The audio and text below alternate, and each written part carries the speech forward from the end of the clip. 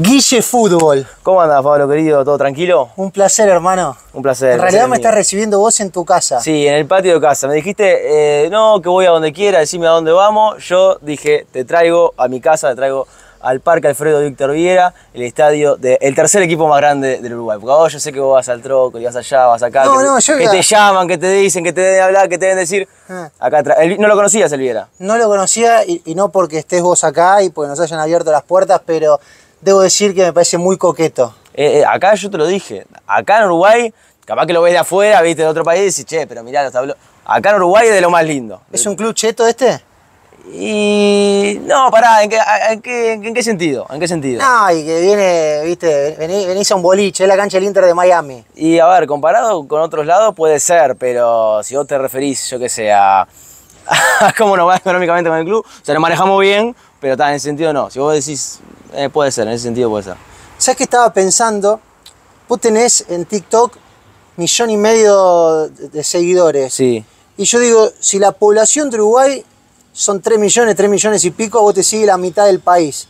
Y yo trasladando eso a Argentina, o sea, a mí deberían seguirme más o menos para estar a tu nivel 25 millones de personas. O sea, sería Susana Jiménez.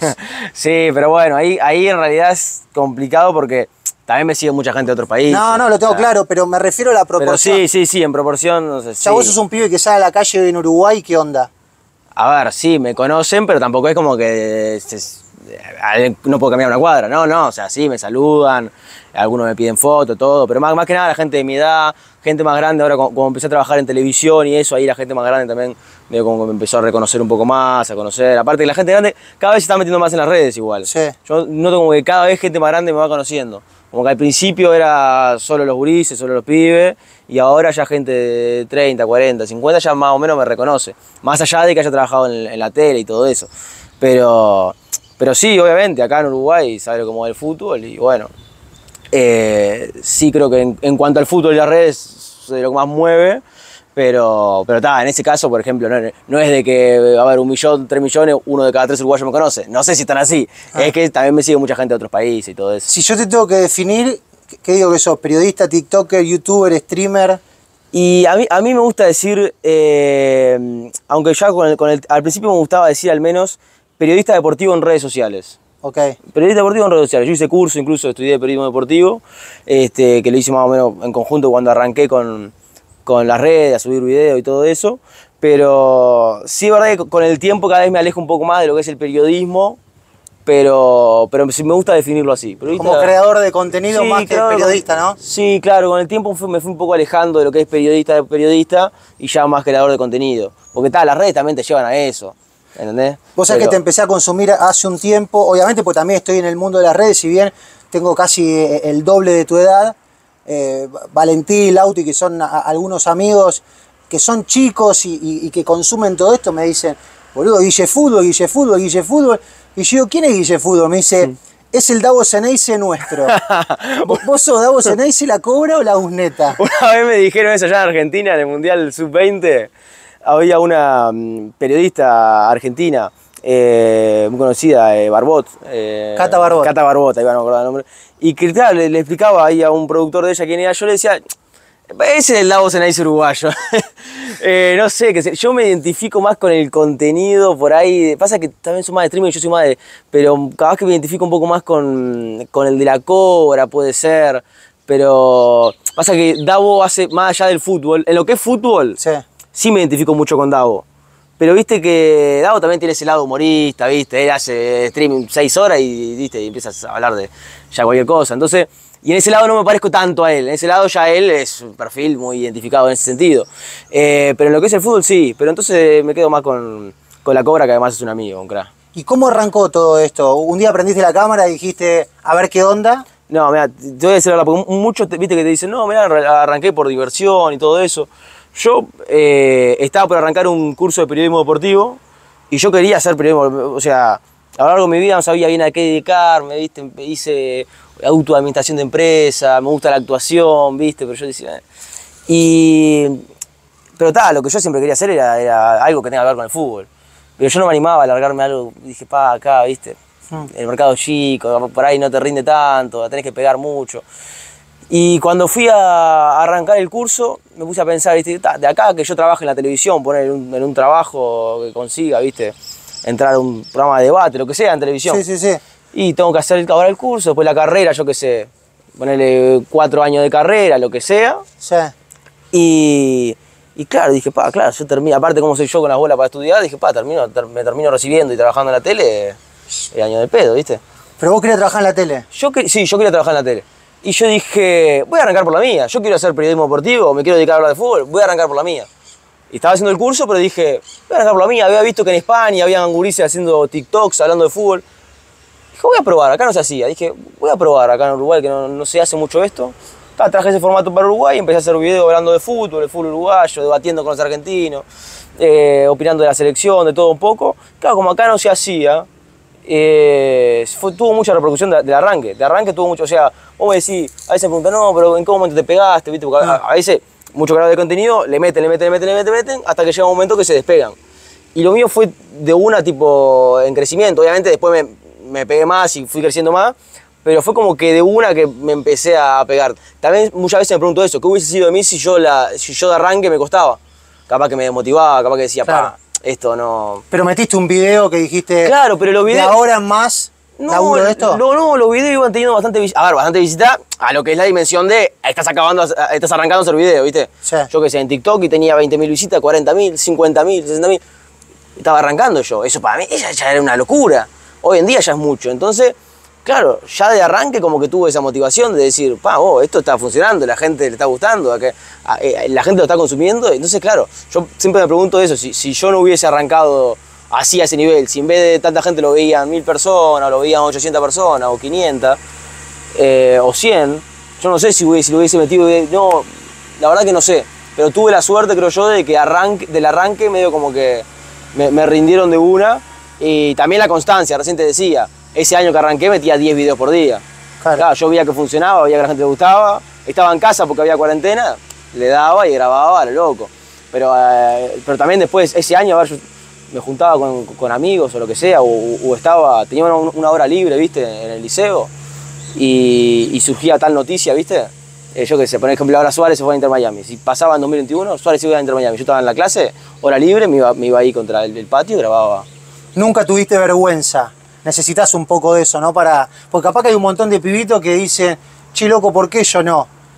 Y porque es prender la cámara en algún momento y arrancar. Sí, no, la vergüenza. Y la que yo soy un tipo vergonzoso en realidad. Mirá. Yo soy un tipo vergonzoso. Con, con el tiempo se me fue la vergüenza. Como te dije, a mí me gusta actuar. Yo cuando arranqué a actuar se me fue la- bastante la vergüenza. Pero en el fondo sigo siendo vergonzoso. Entonces muchas veces me cuesta. Pero entonces eh, te juro que es todos los días pelear contra eso. Todos los días pelear contra la vergüenza, contra la vergüenza. Bueno, te dije que fue al mundial. En el, en el mundial, claro, nota con la gente que salieron una nota pero tremenda, ¿viste? De carajo. Eh, mi video más visto es una nota con un mexicano después del partido contra Argentina. 10 millones de visitas. Claro. Y, pero claro, a mí, a mí en realidad la gente sabe que a mí me cuesta hacer, hacer- o sea, a mí me da vergüenza preguntarle al loco. Ir y decirle, che, loco, ¿qué? me da vergüenza, pero está, te, te- te tenés que olvidar de todo. Entonces, en el caso ese que me preguntás vos, de alguien que, que quiere empezar y todo eso, y tenés que, tenés que mandarte. Si te da vergüenza, mala suerte. No, y Te aparte, tenés que mandar. eh, en esto de 10 millones de visitas, vos sos consciente de lo que significan 10 millones de visitas, porque si vos me decís que- que 10 millones de visitas, ¿cuántas canchas de River llenan? No, no tengo ni idea. O sea, son tres veces y un poquito más Uruguay, Uruguay, entero.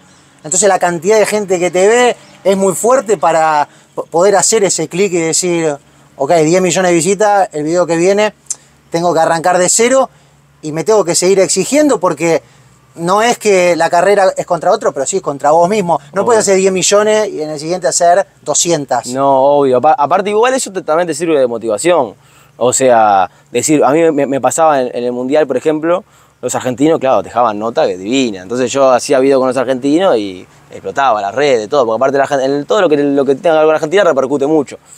Entonces, claro, viste, terminaba el partido de Argentina. Yo el primer partido, eh, Argentina perdió.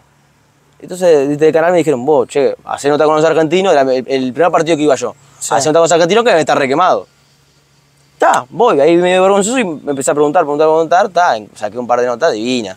Bueno, una, una se hizo muy viral, capaz que incluso la, la gente lo habrá visto, que es un, un gordo pelado criticando a, a De Paul y a los jugadores de Racing, diciendo que los jugadores de Racing no podían jugar más en la selección. Ese se hizo muy viral, la gente que lo vio tuvo también arriba de 5 millones de visitas. Entonces, entonces claro, viste, eh, también te- me motivaba. Yo decía, primer partido, opa, este video divino Claro. con la gente. Ya el segundo dije, voy normal, y, voy- y así. Entonces eso también te motivaba, decir, bueno, está, terminé el partido de Argentina o cualquier otro partido, está, voy. O sea, tenía vergüenza, sí, pero sabía lo que, lo, lo que, lo, lo que había significado. Sabía que 5 millones de personas habían visto el video de, Sí, sí, sí, de, la, de la nota con el argentino. Entonces dije, está, me mando y, y lo hago. Guille, ¿qué, qué es llegar para vos? Y, te pongo, no sé, algunos ejemplos. Ir de canje a comer, que te inviten a la Breche, que te conozcan los jugadores de la selección de Uruguay. Sí, o sea, para mí, o sea, hoy, por ejemplo, po- poder vivir de, mm, de lo que hago o po- o poder estar, digamos así, eh, con lo que es el fútbol, eso para mí ya es un montón, ya es, ya es divino. Ya, con eso ya, es un montón. Pero lo que me decide de los jugadores, yo eso no lo puedo creer. Incluso con el tiempo me volví cada vez más tibio en Instagram. Porque me da, me da, Claro. me da como ese pudor. Bueno, ahora, ahora la, la más grande para mí, eh, que al menos que me hayan seguido en Instagram, ya me seguían varios jugadores de la selección en Instagram. Sí. Pero ahora, des- después del partido contra Argentina, veo que me sigue. No, previo al partido contra Argentina, el día mm, allá en la bombonera, al mediodía, abro el celular, te ha seguido Darwin Núñez. Fa, yo, chocho la vida. Después del partido subo una publicación en la bombonera, ganamos no sé, no sé cuánto, me gusta de Darwin Núñez. Eso para mí ya es una banda. Claro. Ya es un montón. Eh, pero Pero te marca la cancha un poco, ¿no? Sí, Es, sí, sí. Te sigo, te leo, no me mates. No, sí, sí. Aparte, claro, te da un poco también de, de decir, upa, capaz que con Darwin no, porque yo a Darwin lo banco. No, está bien, pongo Eh, eh, es, es el goleador de la selección, máximo. Pero sí me pasa por ahí con, con- con otros jugadores, ¿viste? O yo que se termina el partido de Uruguay, claro, a ver, me siguen varios jugadores de la selección. Entonces, claro, ¿viste? Me da un poco de. Termina el partido de Uruguay. Tal hizo mal partido. Y, ¿viste? Te da un poco. En TikTok, eh, como, no, como yo no veo quién me sigue en TikTok y quién no, Claro. medio como me, me importa menos. En Twitch lo mismo, en YouTube lo mismo. Pero en, en Instagram, que veo que me siguen ahí, que a veces abro la historia y, y me la vio Matías Olivera, lateral izquierdo de la selección, digo, ah, mierda, ¿viste? Me, da, me da un poco de un poco de cosas. Aún así lo, lo digo, ¿viste? O sea, eh, obviamente nunca de, de la mala leche, ¿viste? Pero si analizo el partido, digo, bueno, Uruguay jugó bien, no sé qué, creo que estuvo eh, eh, mal el cambio de tal otro, creo que debió haber salido eh, de la Cruz porque hizo un mal partido, tal, de la Cruz no me sigue en este caso, ¿no? Pero si me sigue alguno, creo que hizo un mal partido, tal, lo digo. ¿Te escribió alguno para decirte o muy bien lo que dijiste o, o te banco? No, no, no, no, no me han escrito, creo. No, no. Sí, por ahí con algunos, por ejemplo, de la sub-20 que he pegado muy buena onda, porque allá en- cuando fuimos al mundial, claro, son todos de mi edad los gurises de la sub-20. Claro. Entonces, muchos me conocían, he charlado con varios, los festejo allá, festejé con ellos, eh, tengo una foto con la copa, todos festejando con, lo- con los gurises ahí. Entonces, por ahí ellos sí, por ahí me, me responden más cosas, ¿viste? Por ahí yo subo una historia y un jugador de la mayor no me responde la historia.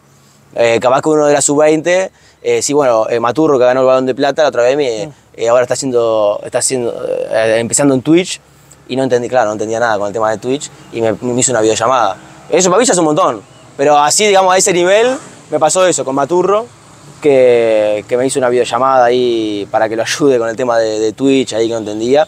Eso ya es un montón. Pero así que me respondan la, la historia, me hayan escrito ellos, no. Yo sí le he escrito a alguno que otro.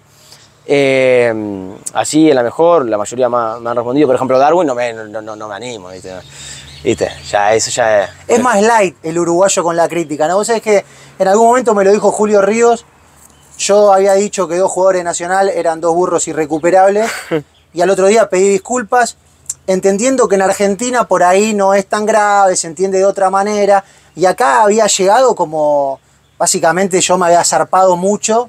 Y después le escribí a los jugadores y le pedí disculpas y le dije, mirá, es dentro de un contexto, en un video, una reacción en caliente. El uruguayo en ese sentido Es más tranqui, sí. ¿Es más tranqui? Sí, sí, sí, sí, sí. Yo aparte lo noto con, con muchas cosas de los argentinos, ¿viste? En televisión Claro. o esas cosas que vos decís, ah, mierda. ¿Hasta dónde van, no? Claro, acá, acá no lo vas a ver. O sea, fíjate que Uruguay se, se quedó afuera de, de- en fase de grupos.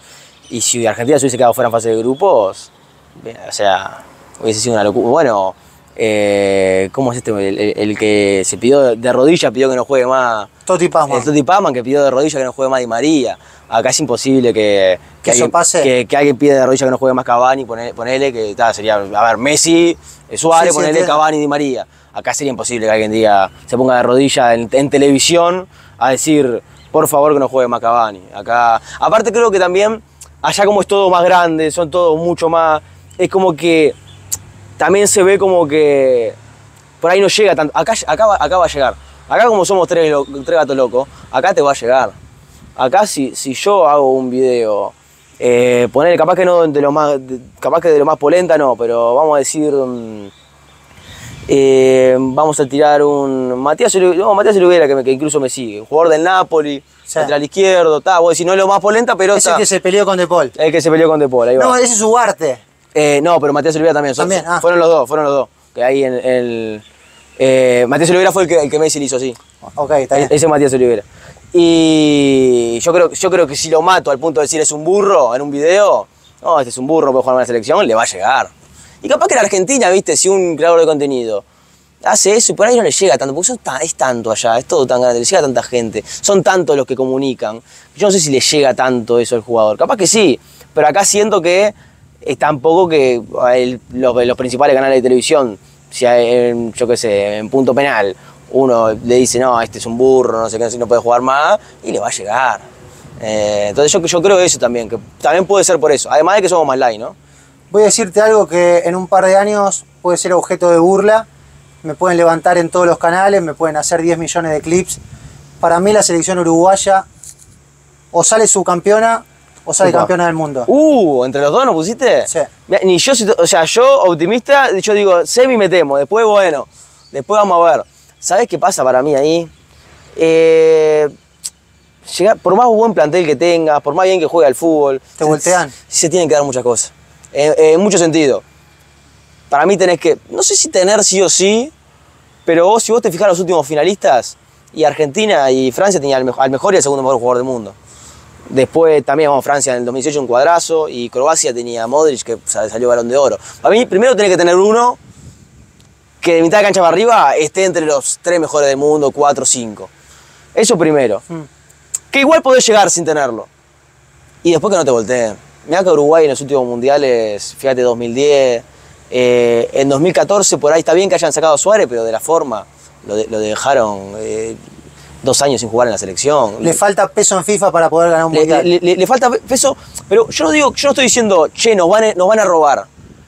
Pero por ahí no te ayuda. O sea, yo no digo que necesites ayuda, pero por lo menos que no te. Bueno, ahora en el, último mundial pasó eso.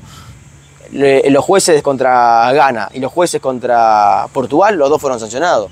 Portugal, no, el, el penal que nos hace, el penal de José Jiménez, después la FIFA sale a decir que fue un error que se haya cobrado penal. Mm. Por ese gol Uruguay se queda fuera del mundial, porque Uruguay hizo los mismos puntos que Corea. Uruguay se queda fuera del mundial por un gol. Sí. Que es ese penal que la FIFA sale a decir fue un error que se haya cobrado. Entonces vos decís, y después en, la, en el partido contra Ghana, penal contra Cavani no se cobra.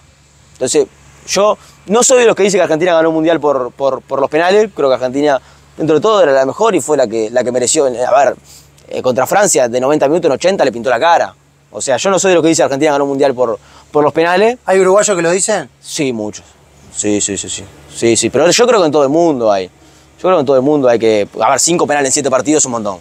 Partamos de esa base. tenemos ade- siete penales. Y, a- y además, de los cinco, creo que uno, el de Acuña contra Holanda es. El resto son todos polémicos. Entonces yo te digo, para mí no ganaron por los penales. Pero el penal que le hacen a Cavani contra Ghana es más penal que todo lo de Argentina. Entonces, yo no necesito que. que- que- yo Pero no para, necesito- ¿Vos dudás que Argentina sea el mejor equipo del mundo? no, yo no es que lo dude. Igual para mí están ahí, pero no es que lo dude. ¿Con quién? Y Francia, bueno, Brasil ahora se cayó. Brasil en el Mundial me gustaba. Brasil en el Mundial yo lo veía, lo veía serio. Pero Brasil tenía, tiene esas cosas que se, se caga, se termina cagando. Mm. Eh, pero no, yo creo que hoy sí, igual bueno, hace poquito jugaron contra Uruguay y. Ya voy a ir a ese partido porque para mí creo que genera ese quiebre. Yo vi varias selecciones de Uruguay por, por una cuestión de edad. No vi a Uruguay del 50 donde te dicen, no, era una cosa de loco. Pero vi, sí, a Uruguay en el 2014, vi a Uruguay en el 2010. Vi ese recambio. Vi cuando le iba bien, cuando le empezó a ir mal, cuando bancaron ese quiebre Y hoy estoy viendo una selección que por ahí no tiene una figura descollante, eso que vos decías, de tenemos un tipo que es top 3 de los mejores del mundo, pero estoy viendo un equipazo. No me considero bielcista como los fanáticos bielcistas que defienden más a Bielsa que lo que puede llegar a defenderse él mismo. Sí lo respeto, pero creo que Bielsa le está haciendo bien a Uruguay y que si lo dejan laburar, que me imagino que si lo contrataron es para dejarlo laburar, Sí, sí, sí. puede hacer algo distinto. Y eso se notó a partir de lo que fue, más allá del partido que le ganan a Brasil, en la cancha de Boca había a un equipo que pasó por arriba, para mí, al mejor, juego- al mejor equipo del mundo que es Argentina. Sí, aparte son las formas, es como decís vos, o sea, Uruguay podía ganar en. Le podía ganar a Brasil, y le podía, podía ganar a Argentina, era más difícil, pero podía, pero son las formas. Uruguay contra Brasil, Argentina no sufrió. Le ganó 2 a 0 a los dos, y a los dos terminó gritando ole, ole. O sea, Uruguay no, no, no sufrió en ningún momento. Contra Brasil hubo un tiro en el palo, que por ahí, y contra Argentina, bueno, eh, bueno, vos capaz que nunca sufriste, sufriste a Messi en contra. Claro. Porque muchas veces los argentinos lo que tienen es eso, que nunca sufriste a Messi en contra. Está bueno eso que decís, porque me imagino que también por una cuestión de edad, vos sos mesista, pero en ese momento lo tenés enfrente. No, obvio, pero ¿qué pasa con Messi? Uruguay no sufrió partido contra Argentina. Pero lo que pasa con- cuando vos jugás con Messi, que vos la agarras a Messi y sufrís. O sea, vos la pasás mal. O sea, vos, vos decís, chá, pa, cómo sufrió el partido. En realidad, Argentina tuvo situación de gol. Rochet tuvo una tajada importante. La verdad que no, no, no, no recuerdo, viste, yo que sé, un tiro de Messi que haya pegado en el palo, ponele. Eh, creo que hubo un tiro libre por ahí, pero no, no, no, no, no recuerdo. Pero el tema es que vos la, la agarra Messi y la pasa mal. La agarra Messi, empieza a enganchar en la media luna. Este Messi también, digo. Este Sí, Messi- sí, este Messi también, este Messi también. Que por ahí si la agarra, yo qué sé, eh, Paredes en la media luna, vos decís, está una jugada normal. Están todos los jugadores Uruguay defendiendo, no, no, no, va a pasar nada de otro mundo. Pero ya la agarra Messi, vos ya la está pasando mal. O sea, eso sí, sí te puede pasar. Y lo que me decías de Bielsa, eh, es lo que te digo, para mí también son, son, son las formas. Igual, yo tampoco me considero una persona bielcista. De hecho, sí creo que era lo ideal para Uruguay en este momento, para la, la nueva generación de Uruguay, los jugadores que tiene, el estilo que tiene. Para mí lo- el ideal era Bielsa, coincido. Ahora, no soy un gran defensor de, de Bielsa ni, ni bielcista. Incluso cuando se empezó a rumorear su llegada. No te cerraba. Y pasa que yo- a mí permitíme dudar de un técnico que, que se deja hacer un gol en, un gol en contra, ¿viste? Como, como hizo allá en, Sí, sí, sí. eh, en Inglaterra, en la B. Y a mí esas cosas. no ¿viste? va el fair play con el espíritu uruguayo. No, no va. Pero entiendo que era lo ideal para, para el, para el presente de Uruguay. Aparte, igual también se da esa mezcla de, ok, lo que te da Bielsa y lo que te da Uruguay, creo que ese mix se puede sacar buenos frutos y de hecho... Pero cuando me decís era lo ideal para el presidente de Uruguay, no te estás animando a decir que era el momento de un tipo que tenía que sacar a Suárez y a Cavani. Pasa que para mí Suárez no está mal que, que siga. Cavani, a- a- para mí, uno, para mí es uno u otro.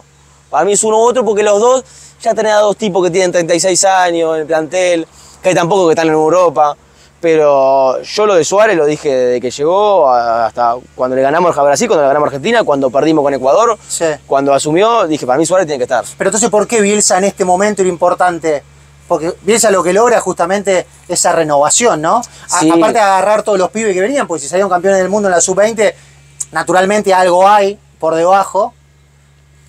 Y además le entregaba todo eso adelante para decirle, no te convoco, y en el momento donde yo ya armé el equipo, ahora sí vení. Sí, ahora, sí, sí, ahora sí. te convoco. No, no, a ver, para mí en sí lo ideal era Bielsa. Primero por esas cosas, de, de que le iba a dar, a mí me hace acordar algunas cosas al maestro Tavares, ¿viste? De que es un tipo serio. Vos sabés que viene Bielsa y va a armar, va a armar un proyecto serio, ¿viste? Claro. Acá técnicos uruguayos no sobran tanto. Y del exterior, ¿viste? ¿A quién ibas a traer? A mí me gustaba Gareca, que en Perú me parece que hizo la cosa muy bien. Pero, ¿viste? ¿A cuál ibas a traer después de- de- del exterior? Y a mí Bielsa me gustaba porque sabía que iba a ser un proceso como que hizo Tavares en cuanto a la seriedad pero además te daba el toque de jugar más al fútbol que lo que necesitaba Uruguay, y más con los jugadores que tiene hoy en día. O sea, Uruguay ya, ya no tiene a Russo Pérez, ya no tiene, o sea, tiene jugadores como para jugar al fútbol, que eso fue lo que le pasó a Tavares. Tavares, eh, para mí, yo siempre digo, para mí hay, hay técnicos que con menos te hacen más y con más te hacen menos. El Cholo Simeone es un, un técnico que me parece lo mismo que Tavares. Para mí, a Tavares le das a Modric, a Kroos y a, mm, y a Iniesta y capaz que te juega mejor con, con Casemiro. Sí, ¿viste? sí, entiendo, con el Russo entiendo. Pérez, ¿ent- ¿entendés? Y el, el Cholo Simeone pasa lo mismo. Entonces, creo que Bielsa para los jugadores que tenía Uruguay y que, Uruguay- y que tenía tiempo, porque no, no es que tenía una competencia ahora a la Claro. vuelta de la esquina, porque no sé si es un técnico para corto plazo. Está bien, en el corto plazo lo está yendo excelente, pero no sé si es un técnico para el corto plazo. Para mí, Bielsa es un técnico a largo plazo que eh, establece una idea de juego, que te potencia después los jugadores, no sé si para el corto plazo. Entonces, ya está por arrancar la eliminatoria. La Copa América es, falta más de un año para la Copa América. Son todos jugadores jóvenes, para que los potencie Bielsa. Acá en Uruguay hay algo mejor que Bielsa, no. Del exterior, y era, al fin y al cabo era, era- era- eso. era- era la mejor opción. O sea que yo tuve un problema bastante grave en mi país ante el Mundial, porque yo dije que entregaba las cataratas del Iguazú a cambio de Valverde. Es buenísimo Valverde. Sí. Hay, hay argentinos que me dicen que no sería titular en Argentina porque son campeones del mundo. No, no, pero hoy lo decimos. Hoy yo creo que puede no ser titular porque Enzo Fernández demostró algo que no se lo imaginaba a nadie. Realmente no se lo imaginaba a nadie. Enzo Fernández se mete por la ventana, termina siendo titular, el jugador más joven del Mundial, el mejor de todos. Entonces uno no se lo imaginaba. Pero antes del Mundial, vos lo veías y decías, loco, este tipo yo no sé si juega de puntero derecho, no sé si juega de 10, no sé si juega de 5, de doble 5. No, a mí me parece todo. un monstruo. No, juega de todo. Entonces a mí me enojaba mucho cuando me decían eso los argentinos porque para mí hoy Valverde va a Argentina Sí. y atrás de Messi es el mejor jugador de Argentina. Es muy fuerte lo que está diciendo. Incluso hay que ver el nivel de, de Messi hoy, que hace meses que no juega, pero hoy Valverde. Sacame, sacame a Messi, no, no lo ponemos de discusión a Messi si querés. Porque Messi está, está en la MLS, le- tiene 36 Sí. años, pero es Messi, Es es Messi, Messi. es Después de Messi, Valverde va a Argentina y es el mejor jugador que tienen. O sea, vos crees que es más, por ejemplo, que Sí, McAllister. sí, sí, sí, más como Calitor, sí. Pasa que muchos me dicen, no, no Que sé. Julián. No sería titular porque, claro, porque Argentina juega de novela, De Paul le va excelente. Pero imagínate, en ese contexto poner a Valverde, que es más completo que De Paul, que juega mejor que. A, a mí McAllister me encanta. Me pare- McAllister creo que le puede llegar a discutir. Creo que es un jugador que a mí me gusta mucho, que creo que le puede llegar a pelear.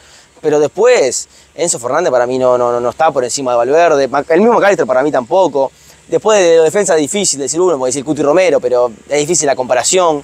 Y Julián Álvarez creo que es, para mí, Valverde mejor que, que McAllister. Julián Álvarez por ahí puede ser el, el, que, el segundo mejor después de, después de Messi. Para mí Julián, o usted tiene una discusión ahí, Julián Lautaro, para mí eh, Yo Julián. con total sinceridad, si vos me decís, llévate un jugador de Uruguay y ponelo de titular hoy en la selección argentina, y lo dice alguien que está enamorado de la selección uruguaya, te digo, hoy estamos bien, hoy no. Hoy Claro. creo que Argentina no, no necesita ninguno, más allá de entender que Darwin Núñez me parece un tremendo crack. eh, bueno, Valverde recién hablaba, o Manu Ugarte, un, un pibe que jugaba acá en Fénix y, y ya la rompía en el fútbol uruguayo. Después me parece que se fue, no sé si a Portugal, Sí, pero sí, sí. La, la rompió, terminó jugando en el PSG y aparece dentro del equipo y se da la titularidad. Ahora, en ese contexto, yo no sé si saco a Juliano Lautaro para poner a Darwin Núñez. No, yo enti- entiendo el contexto de Argentina. O sea, a ver, si vos me decís a mí, para mí, Araujo en Argentina sería titular, ¿Sí? Valverde en Argentina sería titular. Pero entiendo el contexto de Argentina como me decís, che, venimos a ser campeones del mundo, todos los jugadores están jugando de novela, hay que ver ahora, los, dos- los últimos dos partidos a mí no me gustaron de Argentina, Brasil y, y Uruguay, para mí no. Pero es normal igual, yo Sí, siento no. que es normal. Obvio, a ver, vamos a ver, no puedo jugar, jugar por dos partidos, ¿no? Pero entiendo el contexto, vos decís, necesitar, y por ahí no, no lo necesitan ni, ni, ni, ni a, ni a Mbappé, capaz que necesitan, porque Igual el partido con Uruguay te lo tomo, el partido con Brasil, Argentina gana en el Maracaná, en el medio de los gases, del quilombo, la represión, los familiares cobrando en la tribuna, en todo ese contexto, Argentina le gana a Brasil en el Maracaná. Sí, sí, nunca había pasado en eliminatoria, todo lo que quiera, pero si me voy a lo futurístico, Argentina no hizo un buen partido contra Brasil. ¿Pero qué le tenés que ganar 5 a 0 a no, no, Brasil no, para que te guste? no, si, si analizamos, a ver, si analizamos el resultado, está bien. Si analizamos lo futbolístico, a mí no, me- no, no, no me pareció un, un gran partido de Argentina. De hecho, creo que hasta Brasil me pareció mejor que Argentina. Ganó Argentina, perfecto. Ahora, si me, voy- me baso en lo futbolístico, los últimos dos partidos de Argentina no habían, no habían sido buenos. Bueno, De hecho, yo decía, me cagó el partido contra Brasil. Después del partido contra Uruguay, yo decía, sacar, sacar el partido de Brasil. Yo decía, las últimas tres selecciones que jugó Argentina grandes, las últimas tres selecciones grandes que jugó Argentina no ganó ninguna. Porque a Francia le ganamos por penal. Porque a Francia empataron, Holanda empataron y Uruguay perdieron. Ta, después ganaron a Brasil y me cagaron. Me cagaron, pero está, yo le lo bajaba un poco de tierra y le decía, che, mirá, la- las últimas tres grandes que jugaron no le ganaba ninguna. Pero está, después Brasil me cagó aparte el Maracaná. Sacame si, si te tenés que llevar a un argentino a la selección uruguaya, pero para que juegue mañana de titular. Mañana de titular. Vos sabés que a mí. No te voy a decir los grandes, porque yo te diría eh, eh, Messi o Di María, que Uruguay no tiene jugadores así. De hecho, te diría, te diría Di María, que es mi jugador ¿Y pero a quién favorito. sacas para poner a Di María? Eh, para poner a Di María y a Pelistri. Mirá. Sacás a Pelistri y ahí pones a Messi o a Di María. Yo creo que a, a Uruguay le falta un jugador. Si bien Di María ya estaba veterano, ya por ahí no es el mismo que antes, A mí Di María me encanta. Y después, si vos te analizás por ahí, en, en la mitad de la cancha de Uruguay le está yendo muy bien. El 9 es el goleador. Extremo por izquierda, y capaz que, pero Argentina, ¿qué extremo por izquierda tiene? Como decir, o sea, está Araujo, a Uruguay está yendo muy bien. Después en el medio, Uruguay lo mejor que tiene hoy en día es la mitad de la cancha, entonces te diría, ¿llevaría un jugador a la mitad de la cancha? ¿Te sacaría un McAllister? Y Uruguay lo mejor que tiene ahí, entonces no sé si sacaría un McAllister. Los laterales tampoco no es lo que más destaca, Argentina los laterales son correctos, pero no es Sí. lo que más destaca.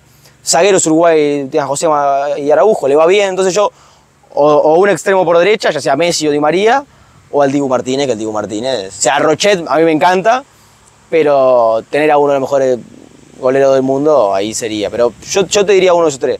Di María, Messi o el Dibu. Después de la mitad de la cancha, de la defensa, no, nueve, no. Eh, yo ¿Se hace cargo el uruguayo que tienen que ganar la Copa América? Porque yo lo noto como, bueno, la responsabilidad de Argentina, Brasil es Brasil nosotros venimos siempre por atrás. Y hoy Uruguay puede ganar la Copa América. No, para mí, yo, yo lo dije, muchos argentinos incluso se me ríen porque, me- porque como, como que agrando a Uruguay, pero para mí Uruguay está prácticamente obligado a ganar la Copa América. Porque fíjate que Uruguay, la peor racha de Uruguay sin ganar Copa América son 16 años. Eh, eh, sin ganar un título en realidad. La peor racha de Uruguay sin ganar un título es de 16 años. La de Argentina 28, la de Brasil 27. O sea, Uruguay es la que, la que mejor, peor racha tiene en, en todo caso. Y si Uruguay no gana esta Copa América, supera esa racha. O sea, estaríamos hablando de la peor sequía de Uruguay, a no ser que ganemos el Mundial, porque ahí eh, serían eh, 15 años, no, sí, 2016, 15 años serían. Entonces, si ganamos el Mundial, ok, serían 15 años sin ganar un título. Está, anda a ganarlo el Mundial, ¿no? Sí, sí. Entonces, yo creo que, palabra más, palabra menos, si Uruguay no gana la Copa América, superaría su peor sequía sin ganar un título, que, sería, que, sería, que son 16 años, del 95 al 2011. Eh, más allá de eso, creo que Uruguay necesita un título, porque para Uruguay, que tiene 15 Copa América, 4 veces campeón del mundo, estar, y en, ese caso, que sería en 2028 la otra Copa América, son muchos años en ganar una Copa América para Uruguay, son muchos años. Y además lo que decís vos, vos, de- vos decís, o sea, no es que sos, con todo respeto, Perú, sos Uruguay, le venía a ganar Argentina, le venía a ganar bien a Argentina y a Brasil. Está bien, tenés a Colombia, Uruguay jugar por jugar más que Colombia. Ahora, ¿cómo explicas eh, una cuestión, te diría, poblacional, que siendo tan pocos, saquen todo el tiempo tantos jugadores? Porque después vos ves el torneo uruguayo, y no es lo mismo que la selección, con todo No. respeto. No, o sea, sí. yo adoro el torneo uruguayo, pero vos ves el torneo uruguayo y Ganó más de cabotaje. Se va de mate. Claro, y, y vos ves afuera y decís, pero bueno, son todos buenos.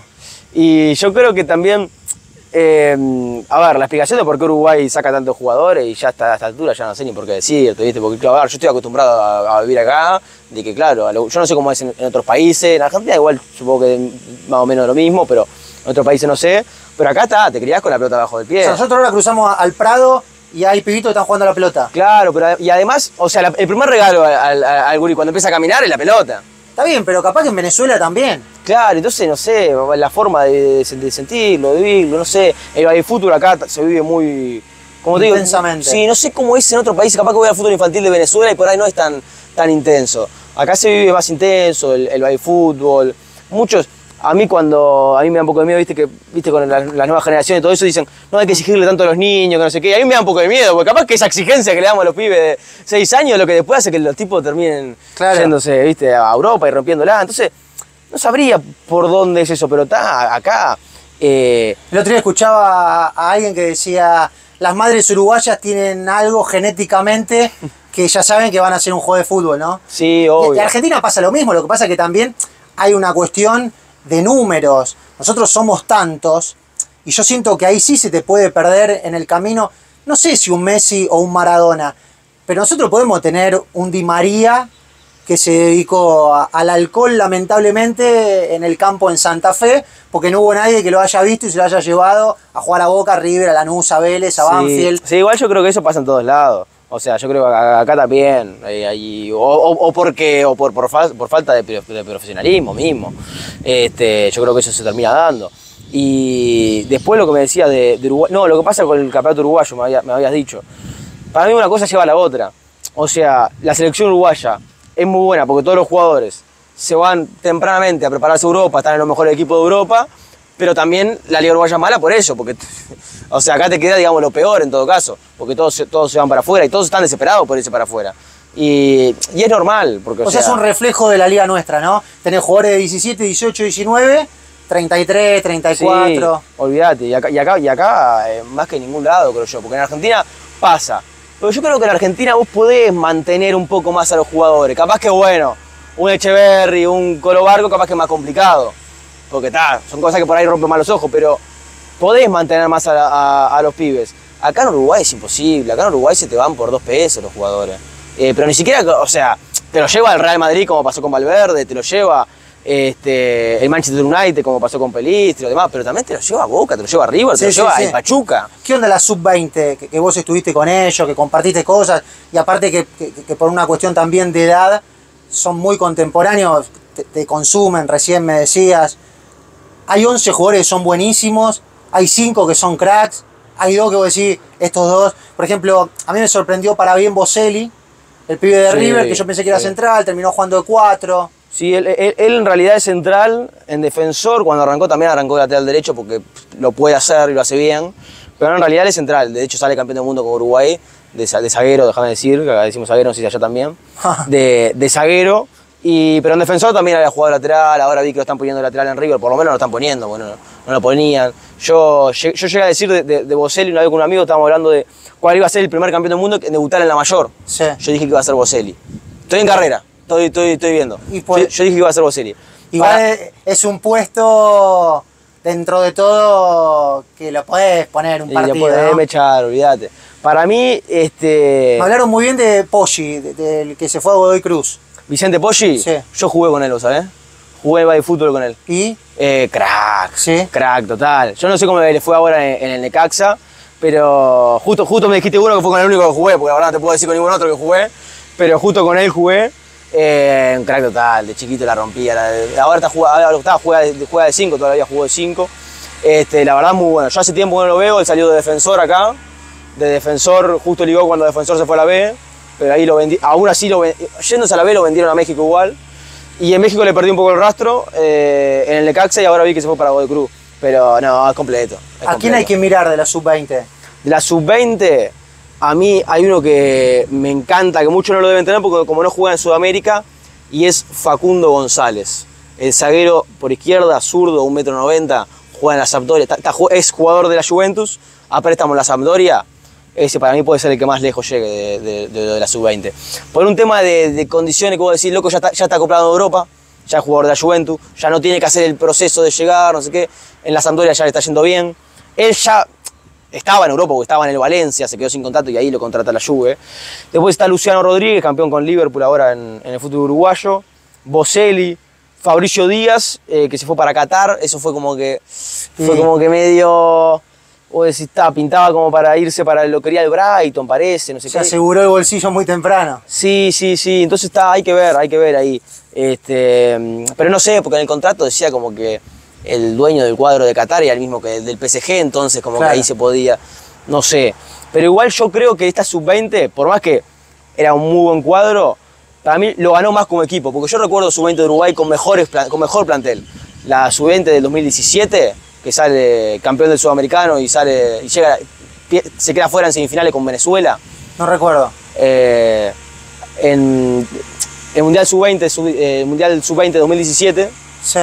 Uruguay llega a semifinales. Esa es la, la generación de Valverde, Claro. de De la Cruz, de Bentancur. Llegaron todos. Claro, esos.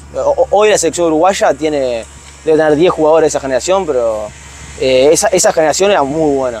Y, ta, y no termina siendo campeón del mundo. Y esta sí, que para mí tiene no tan buenos jugadores como aquella, Sí. pero era más equipo. Esta, esta selección de Uruguay vos, vos entraba, jugaba, jugaba, era completita y vos sabías que entraba y ganaba. Guille, ¿vos estás capacitado para decirme cómo se define el torneo uruguayo? ¿No lo entiendes? No lo entiendo, no lo entiendo. Voy a-. ¿Sabés que voy a salir en defensa del campeonato uruguayo? Yo soy de los principales críticos del fútbol uruguayo. De punta a punta. Creo que el fútbol uruguayo tiene mil cosas para mejorar.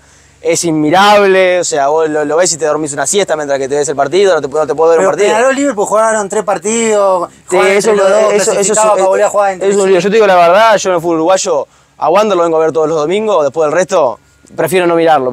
Por salud mental prefiero no mirar el resto del partido de fútbol uruguayo. Ahora, te lo explico y, y defiendo el formato del fútbol uruguayo, menos el intermedio que ahora lo- te voy a explicar. Fútbol uruguayo Sí. tiene una tabla anual de todo el año, Son 16 equipos. Primera rueda, segunda rueda. Tabla anual de todo, de, de- de- todo el año. Pero la primera rueda es la apertura. Hay un campeón de la apertura. Y la segunda rueda es el clausura. Hay un campeón de clausura. Campeón de la primera rueda campeón de la segunda rueda. Vamos, primera y segunda rueda para dejarlo más claro. Sí. Campeón de primera rueda, campeón de la segunda rueda. Y además está la tabla anual que es la suma de, de las dos ruedas. Pues ya te estás costando un montón, boludo. es un No, quilombo. pero pará, pará, pará, porque ¿sabes, ¿sabes por qué? ¿Sabes por qué se lo critica? Porque definen Liverpool y Peñarol. Porque si este formato lo llevas a la Premier League y una semifinal definen Liverpool contra City y en la final espera el United, es fantástico. Eh, me- me- seguime. Apertura, clausura y tabla anual. El que, el que gana la tabla anual de todo el año va a la final directo. El fue el mejor equipo del año va a la final Claro, directo. pero el ganador del anual, hay grandísimas chances Sí, son grandes las chances. Sí, que sí. sea o el ganador Sí, de la clausura o de la apertura. Sí, sí, bueno, tal, por la, la mayoría de las veces pasa eso. Si no pasara sería fantástico. Claro. Eh, no, está, ganador de- de- del anual va a la final directo y el ganador de la apertura va a la semifinal con el clausura. Lo que pasa es lo que decís. Muchas veces coincide que el ganador del clausura es el mismo que el anual, por un tema lógico. Si vos fuiste el mejor del año, son grandes las posibilidades de que hayas ganado la apertura o clausura. Entonces ahí pasa que, claro, el ganador de la apertura, ponele, ya va a la semifinal. Pero si el ganador, eh, en este caso fue así. Ganador de la apertura, Peñarol, va a la semifinal. Ganador del anual, Liverpool, va a la final. ¿Pero contra quién juega la final Peñarol? Contra el campeón de clausura Es un quilombo. que fue Liverpool. Pero es un quilombo porque, porque el fútbol uruguayo eh, define Peñarol y Liverpool en el, en el Belvedere, que entran 4.000 personas y, y son tablones en los cosas. Si vos llevas este formato, como te digo, a la Premier, donde aparte hay más competitividad, entonces se puede dar eso, de que ponerle que el City te gana la, la anual. Vos llevarlo a la Premier, el Sí. formato. El City te gana la anual. Y el clausura te lo gana Liverpool, el, el Liverpool te gana la clausura y, y el, y la apertura del Manchester United. Es muy raro que pase eso. Porque Bueno, vos ahí si el City una- gana el anual, casi seguro que el City ganó la apertura o el clausura. Ah, puede pasar. Igual ha, igual ha pasado que, que el ganador de anual no haya ganado la apertura de Está bien, sería buenísimo. Pero, imagínate finales, en, porque una cosa son finales Peñarol Liverpool, otra cosa son finales Liverpool, United, City, ¿entendés? O sea, a mí lo que me pasa con el fútbol europeo muchas veces es que seis fechas antes ya se terminó el campeonato. Ya el City salió campeón. suerte, seis fechas antes. Sí, no, diez fechas antes ya, ya pasa en, bueno, Francia y Alemania pasa todos los años. En Inglaterra con el City viene pasando, el año pasado no, pero igual tres fechas antes ya salió campeón. En los años anteriores también. no, el que Eh, estaba puntero ahora en España, el equipo de Stuani, todo bien, en algún momento se va a caer el Real Madrid, Sí, le compra no. 60 jugadores y le saca 200 puntos. En Italia la Juventus durante 10 años salió campeón 10 fechas antes. Entonces, yo eso es como que algo que le alabo al fútbol uruguayo, que siento que si se jugaría solo anual, siento que para lo poco atractivo que es el fútbol uruguayo, le da un atractivo. Aparte Peñarol Nacional sacan tanta diferencia, aunque para mí deberían sacar mucho más de la que sacan, eh, sacan tanta diferencia, que es una forma también de hacerlo un poco más entretenido. Un chico sabe que el anual es difícil ganarla. Los últimos que ganaron anual fueron el Liverpool ahora y Wander eh, hace 10 años, eh, en 2014. Pero en los últimos 10 años dos chicos ganaron anual, Liverpool Claro. y Wander. Entonces, es muy difícil que un chico gane el anual. Eh, dos veces en 10 años, y si nos vamos para atrás, no sé cuántas veces, eh, cuántas veces pasó que el chico gane el anual. Entonces, una motivación para el cuadro chico también decir, che, en 15 partidos me meto en la definición. Después puedo perder la semifinal, puedo perder la final, pero en 15 partidos yo me meto en la definición. Vos sabés que yo gano la apertura y estoy en la definición del campeonato. A mí es de las pocas cosas que defiendo. El intermedio que se juega entre, eso sí, no, no, yo no lo defiendo. Pero La del- Copa Uruguay, Sí, la Copa Uruguay me parece bien, sí, me parece bien. Es una Copa Nacional, porque aparte Uruguay no, había metido el intermedio como Copa Nacional porque no, Uruguay no tenía Copa Nacional, tenía el, el Campeonato Uruguayo y ya está.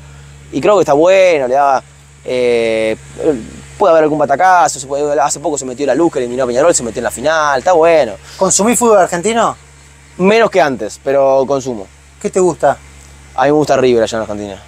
Pero digo, ¿por, algo en especial o porque te gusta cómo juega? No, siempre me gustó, me gustó de la época que jugaba, yo me acuerdo que jugaba el Loco Abreu con Bonanote.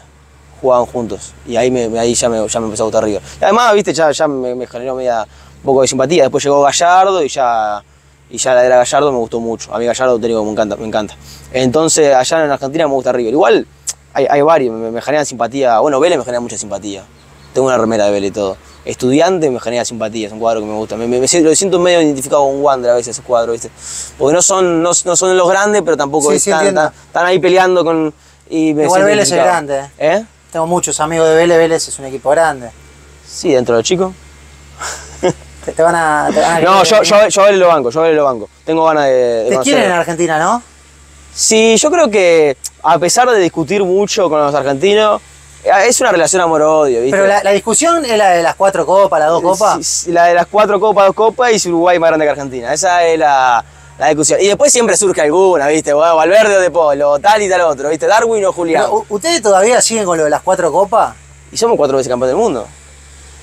Eso, Está bien, eso es así. pero- Pero... eso es así. Yo defiendo la, la- la historia de Uruguay. Uruguay es cuatro veces campeón del mundo y, y ya está. De eso, no te baja, de, de eso no te baja nadie. En la estrella hay cuatro estrellas y van a seguir estando. Eh, y, eso, y eso lo voy a defender a, a capa y espada. Eso no, me- no, no, no, me van a sacar dos estrellas. No me, van a sacar. Y aparte porque después salís por acá y te quieren todo, ¿no? No, también no, pero hay que defenderlo como, como tiene que ser, más allá de eso. Eh, es una falta de respeto para los jugadores que salieron campeón del mundo en el 24 y en el 28 y, y no se les da ese reconocimiento. Aparte, a mí lo que me da bronca es que por ahí la FIFA, viste, te lo admite porque si no, no te deja tener cuatro estrellas la FIFA. Si vos no sos cuatro veces campeón del mundo, no te deja tener cuatro estrellas. En el Museo de Qatar también pusieron cuatro veces campeón del mundo. Pero claro, cuando ponen la Copa del Mundo te encajan dos. Entonces, sí, ah, Te duele esa.